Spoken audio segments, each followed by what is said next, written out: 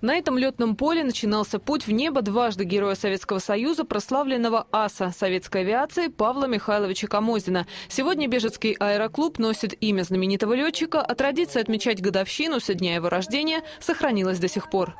Из стен клуба вышло 20, 24 героя Советского Союза, из них один герой социалистического труда.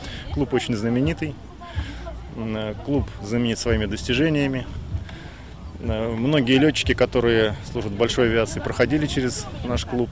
Перед выступлением летчиков приветственные слова со сцены сказали почетные гости праздника. Наш земляк, летчик-космонавт Виктор Афанасьев, внук Павла Камозина, ветерана Великой Отечественной войны, представители администрации города, директор 43-й школы Валентина Миронова, которая организовала в своем учебном заведении выставку, посвященную Павлу Камозину. Помимо официальной части для собравшихся выступили творческие коллективы, а недалеко от сцены были организованы выставки работ детских центров творчества.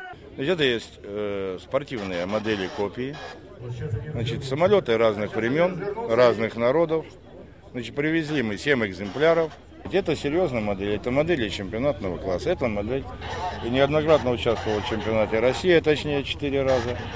Занимали постоянно, сам на ней участвовал, занимал призовые места. Пролет самолета Ан-2 с флагами, высадка парашютистов с малой высоты, пилотаж на спортивных самолетах. Зрители не отрывали глаз от неба и сопровождали бурными аплодисментами каждый элемент.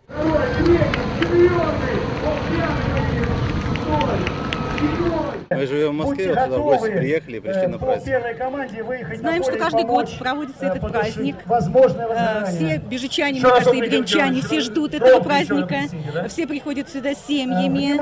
И это очень хорошая традиция, мы считаем. На праздник приезжаю, потому что я сам летчик этого аэроклуба. Летал с 88 -го года. И действующий авиамоделист. Это наша стихия. Так что я здесь среди своих. Ну, сегодня просто как зритель приехал.